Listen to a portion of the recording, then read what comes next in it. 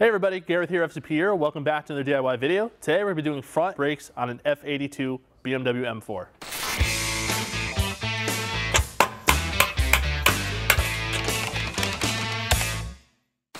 So this DIY is going to apply to F80 M3s, F82, F83 M4s, and the F87 M2 without the carbon ceramic brake option.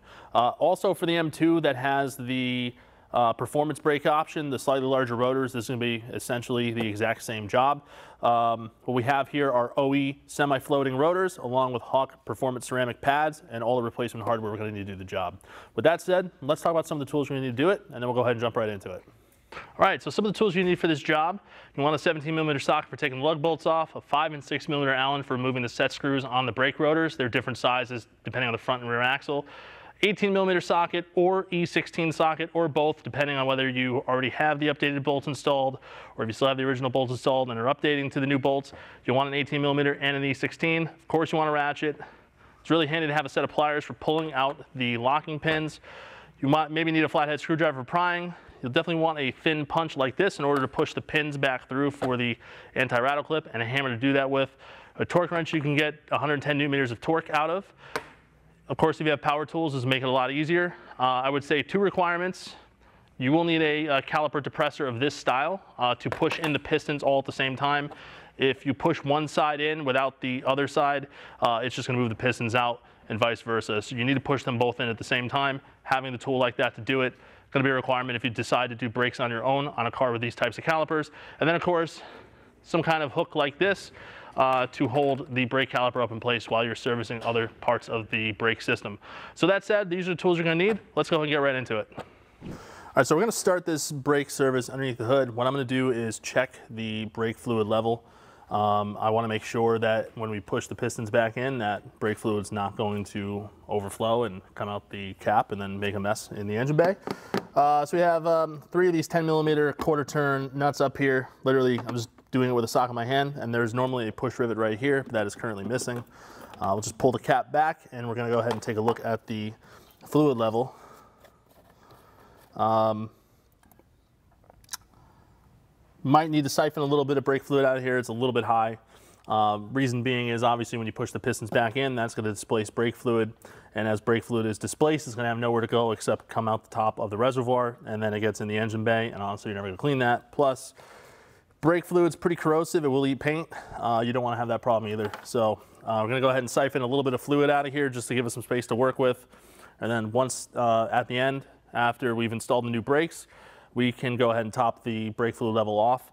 Uh, reason why it's always worth looking at this is if the brake fluid had been topped off at some point and you have brake pad wear, that's obviously fluid that is not being accounted for in the reservoir level. So when you go and push those pistons back in, it has nowhere to go except overflow the reservoir. That is unless you uh, decide to put bleed bottles on the actual brake calipers themselves.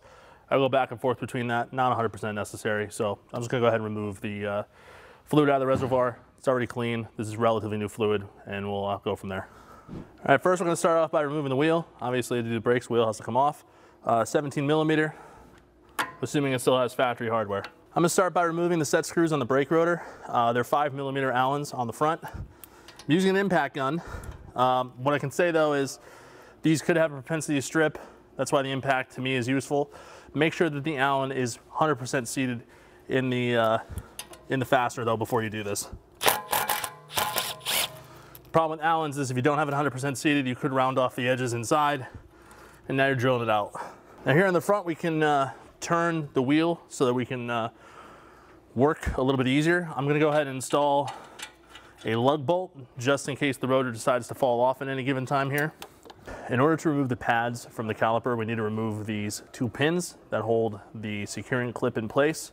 So you're gonna wanna take a punch of the appropriate size and go ahead and tap those out. Want to be careful not to uh, damage the paint in the caliper, uh, especially if you care about that. If the calipers are in good condition like this, you don't want to damage the paint, so be careful. Once those pins are pulled, you can go ahead and remove the uh, retaining clip for the pads. In this case, uh, the pads moved a little bit inboard on it, so I'm gonna go ahead and take a screwdriver and wedge it out like so. I'm just gonna push back on the pistons a little bit with my hands using the pad just to be able to wiggle these out.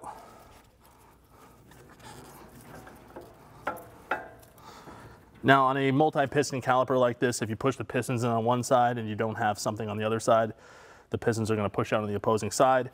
So when we push these pistons back in, we're gonna use a caliper uh, depressor tool that'll push the pistons in at the same time, which is what you wanna do.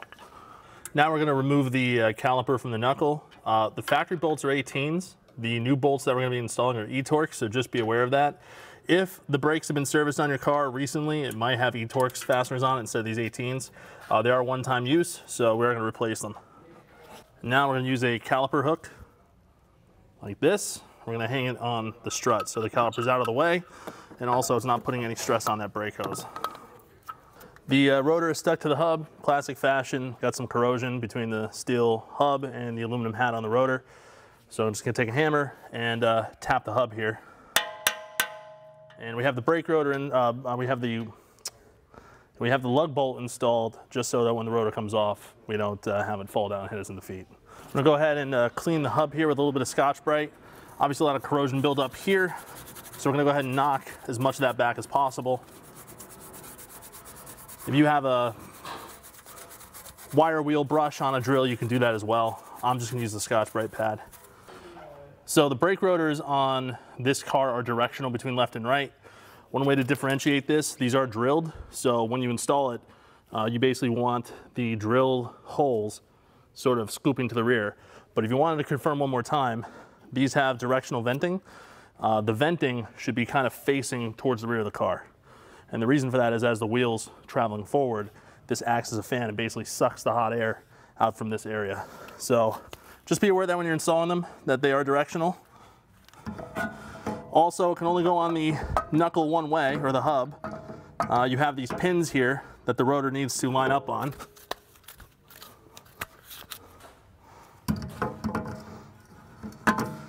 You can't install them incorrectly. You have these three pins, you have your two set screw holes. I'm just going to install a lug bolt again, just before I install these set screws, just to kind of keep the rotor in place. To make life easier for the next person, I'm using a bit of this Liqui Moly LM508 anti-seize on the set screw. Just a dab, just a dab will do you.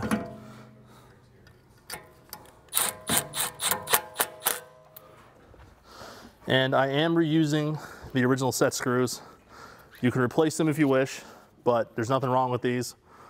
Um, and the only thing the set screw does is just holds the rotor on when the rest of the brakes are not installed. Um, so they're not really that important.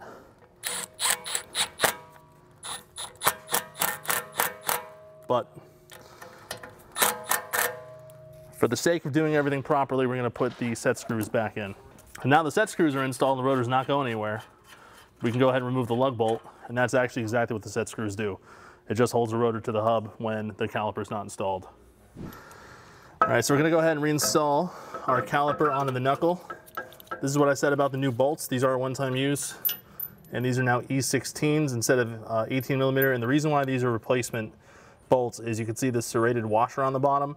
Uh, it's ideal to replace these because of that locking mechanism. So just one extra thing, but highly recommended to do so. Torque spec on these bolts is 110 newton meters. I'm in here with our uh, caliper depressor tool.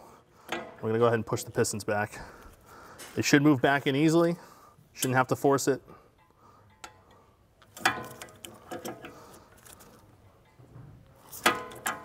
I'm just making sure that they go all the way back in. Now there's a lot of different options of pads uh, for this style caliper. Uh, you know, we offer pretty much all the Hawk Performance pads, the DS2500s from Ferodo. Uh, the really nice thing about these calipers is because they're top loaded. Uh, you can go from having your street pad on it, if you decide to go an autocross or a track day, and then you can go ahead and swap in your track pads. Uh, super convenient, super easy. What I'm gonna do, I'm gonna use a little bit of the grease included with um, the Hawk pads. And right here, this is where the pad sits inside the caliper. I'm just going to apply the thinnest layer of grease. You don't need to overdo it on this. In fact, you could install it dry too, uh, but I'm just doing a little bit of grease here because we cleaned off that section of the caliper. And right now it's just aluminum, so I want to give this the opportunity to be able to move a little bit. Uh, BMW from the factory, they do put some grease on the face of the pistons. I don't think that's necessary. There's also this backing plate or this anti-squeal shim anyway, so I don't think it's going to be necessary. Uh, depending on the pads you install, there may be some brake noise.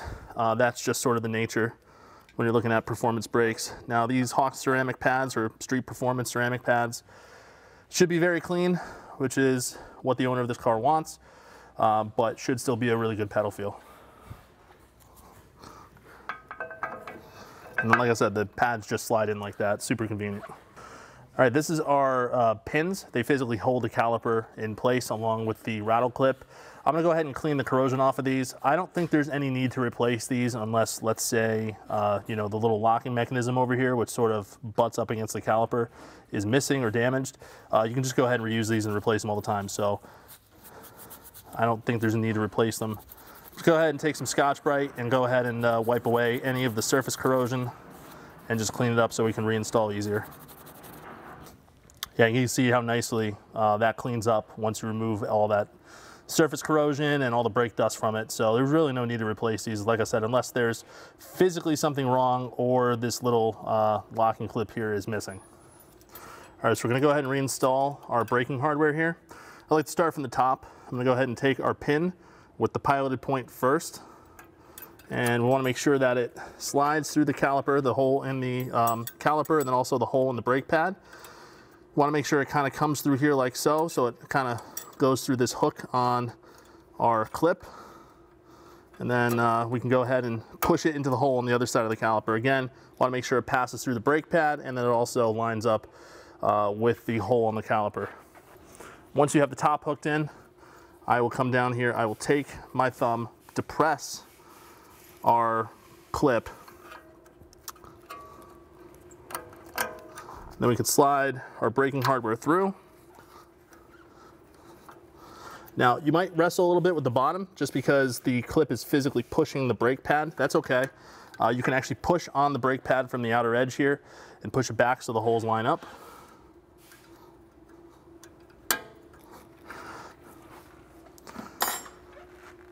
And once we have those holes lined up, I'm just gonna go ahead and give the pin a couple of taps it should go in very easily. If it's not going in, it means it's not lined up. So don't force it in. Uh, just be gentle with it because uh, you could damage the pin, you could damage the uh, caliper. So once everything's lined, it, lined up, you can just go ahead and tap this in and they should go in very easy. Like so. Barely had to hit that, was able to do it just with the very edge of the hammer. And there you go the front brakes are now installed. And just wanted to have a little note here because we are doing uh, the front right brakes or filming the front right brakes. The right side does not have, or the front right rather, does not have a pad wear sensor, only the front left. Uh, so right here we have our pad wear sensor, hooks onto the inboard pad, runs up along here, hooks onto a bracket off the strut, hooks up to another bracket up here, runs up here to a bracket, and then it sits inside this junction housing. Super simple routing, uh, just want to make a little note of it. You're not going to see it on the right side or the front right uh, but you will be dealing with that on the front left. So we just kind of want to show you what that looks like once it's installed. All right, so that's how you go about replacing the brake rotors and brake pads on an F82 M4. Like we said in the beginning, this could be the same for an F80 M3 or an F87 M2. Uh, really any vehicle without the M carbon ceramic brake option. Although technically if it did have M carbon ceramic brakes, it's still very much the same process, just a lot more expensive, unfortunately. Uh, but overall, very simple to do, something you could definitely do at home by yourself. All you need is a handful of tools. I'd say the biggest thing you'd want to have is the proper caliper depressor, uh, just to make sure that those pistons are pressed in correctly. But of course, we have an FCP Euro just in case you're looking for it. Other than that, obviously, before you drive the car, make sure that you pump the brakes to make sure that the pedal is firm. Worst thing you can do is throw it in drive or throw it in gear, start driving down the street and realize you don't have a brake pedal, so make sure that you pump the brake pedal. Also, make sure you break in the brake pads. You want to go ahead and bed those in. Do a couple of stops from 30 miles an hour to almost zero. Go ahead and build that up. You want to put some heat into the brakes. Hawk has a very specific set of instructions on how to do that, but that break-in procedure is going to depend on the brake pad manufacturer, but generally just want to put some heat in them, get some transfer between the pads and the rotors, and once the pedal feels good, you're pretty much good to go from that point forward. So I hope you learned a lot in this video. If you have any questions or comments, leave them in the comment box below. Hit that like button if you like this video and hit subscribe. We have a lot more videos on the way. As always, we'll see you for the next one. Thanks for watching.